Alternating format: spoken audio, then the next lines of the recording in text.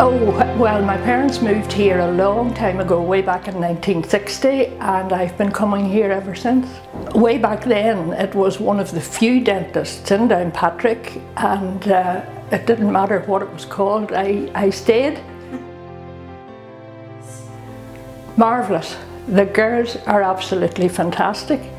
They know everything that's going on, they know what you're here for.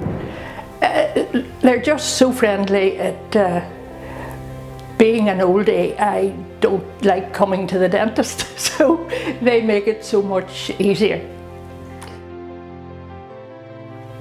I hope a lot because I didn't fancy the idea of a set of false teeth and because my gums are receding something radical was going to have to happen so I have had crowns and various uh, treatments which I feel very comfortable with and uh, I think do look much better for me.